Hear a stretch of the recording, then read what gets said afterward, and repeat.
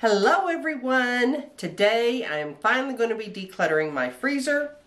Now my freezer is relatively small, but still it is amazing how much we all can accumulate even in a relatively small space. And the problem with that is things get freezer burnt, things get buried, even with a small, small freezer like this and you end up buying things you already have. You end up throwing things out that you could have used. Both of those things are a huge waste of time and money.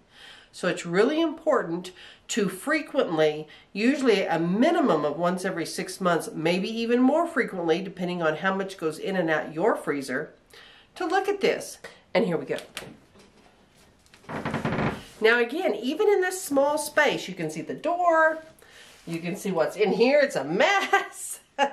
I'm going to take everything out because I really don't want to defrost my freezer. It's fine. But I'm going to quickly take everything out and put it out on a table so I can see exactly what I have and I can organize it to put it back in this freezer. So let's get that done first.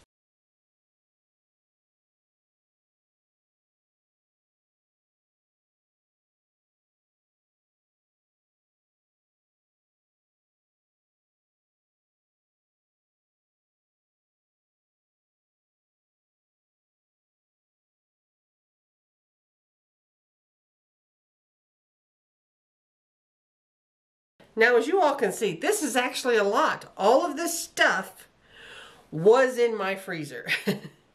so, I'm going to go through this, and I'm probably going to need a tub to set some of this stuff in, but I'm going to go through this and sort it out. I'm going to put meat in one area, uh, vegetables in one area, baking and cooking things in one area, drink mixes in one area, and uh, once I get it sorted out, I'll figure out what needs to go and what needs to stay. Now I'm sure some of you saw these uh, packages that I pulled out. This is actually elk meat uh, that was gifted to me uh, from some friends. And I've got numerous packages of this elk meat. It was just put in the freezer uh, this week, so I will put this in a box first and kind of get it out of the way.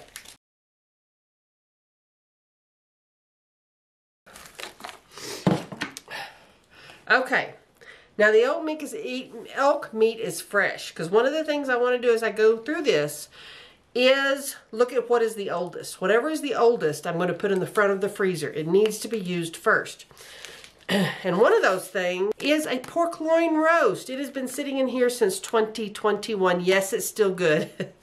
I'm going to take this and make some tamale meat, some taco meat, uh, something of that nature. So I'm actually going to set this out because I'm going to do that this week.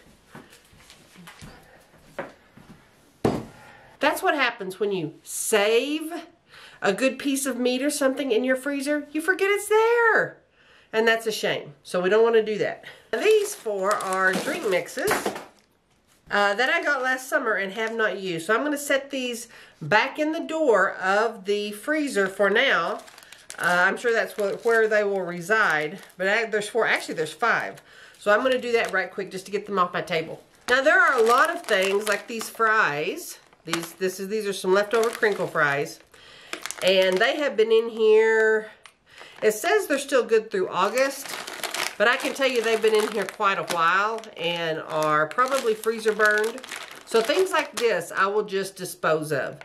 On this end of the table, I'm going to put uh, most of the meat.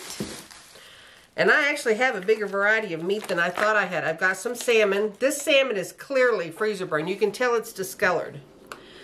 Uh, what I'm going to do with this is I will probably go ahead and cook this, probably just microwave it. And this will become uh, some little kitty feed. uh, this will go to my cats. But uh, you can tell when it gets discolored like this, no matter what the date is on the package, uh, that's probably not good to eat, especially with fish. It doesn't keep in a freezer as long as other things. So this has got to go, which is a shame because that was salmon. Too bad. This is why you need to declutter more often. On the other hand, I have a fabulous tuna steak that is still good. It's still fresh. It looks fabulous, so I will keep that and have that. These are some corn dogs that are clearly freezer burned. Clearly freezer burned. I don't even know how old these are. Um, so those will get tossed too. There's some Christmas treats. I'll put these in the door. of my refrigerator. Get them out of the way, and that's where they need to be, is in the door. Along with that, I have some uh, flake coconut. I always keep this in the freezer. It keeps it fresh. It doesn't get freezer burned. So I'll put these two items in the door of my freezer.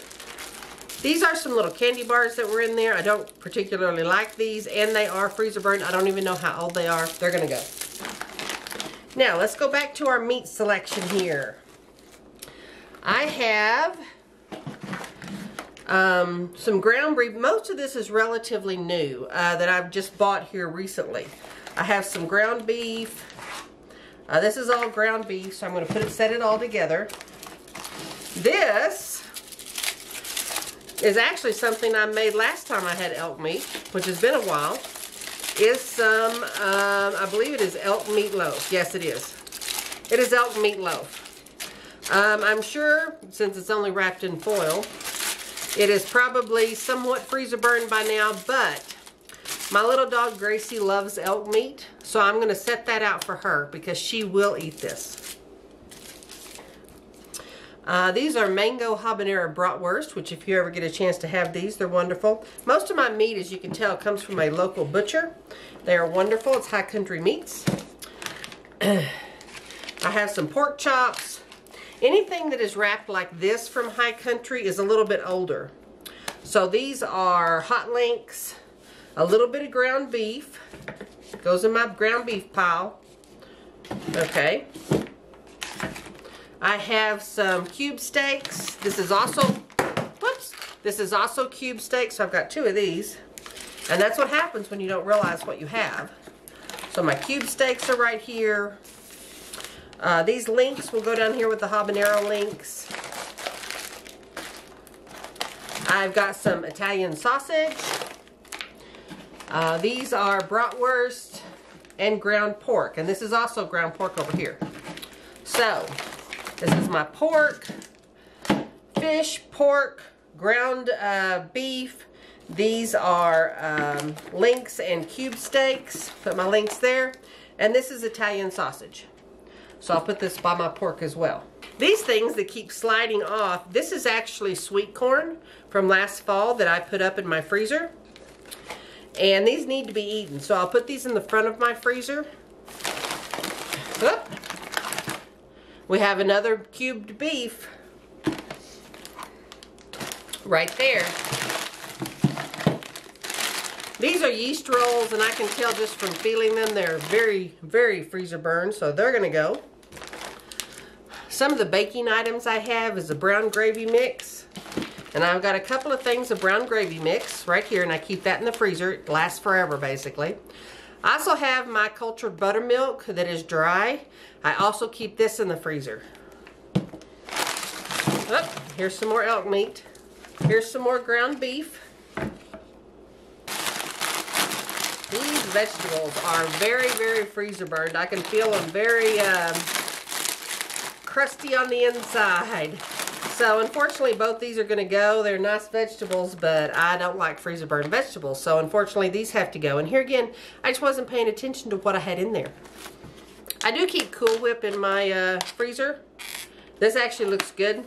I eat it kind of like ice cream. When I'm uh, needing a spoonful of something sweet, I'll get a little Cool Whip instead of ice cream. Now here is a good example of why you need to declutter. I did not realize I had some chili bueno in my freezer. And now I have two because I didn't realize some was in there. So what you do is you take the, uh, this is good until 2024. This is good until 2025. So I'll leave this one in here.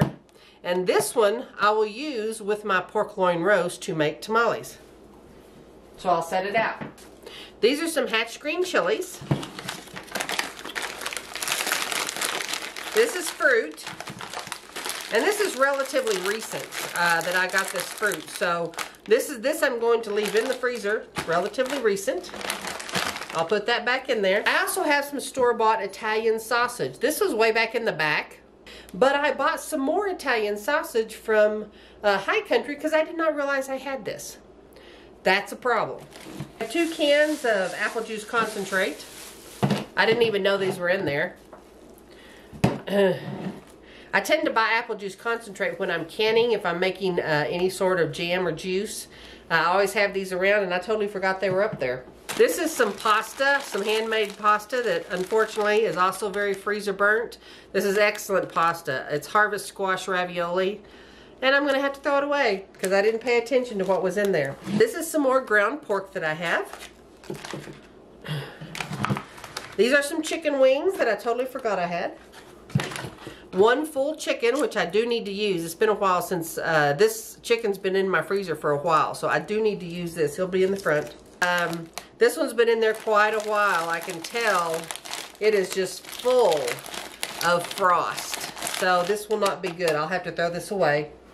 And then the last thing, other than my box of elk meat, is some phyllo dough. I love using phyllo dough on occasion, and this has been in there for a while.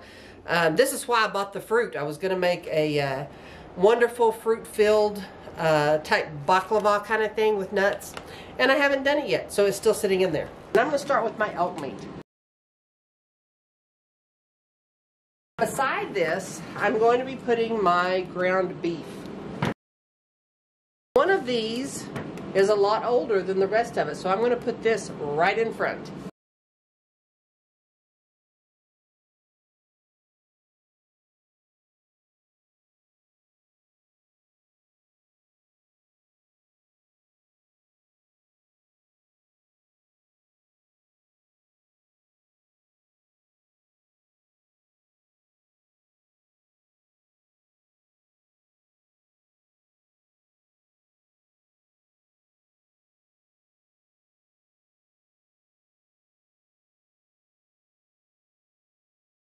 Now you can see how well organized it is. All of the oldest things are right here in front. So I'll be sure to use them first. I've gotten rid of all the stuff that was freezer burned, which really wasn't all that much stuff, but it was enough. When you have a small space, it doesn't take much to gunk it up.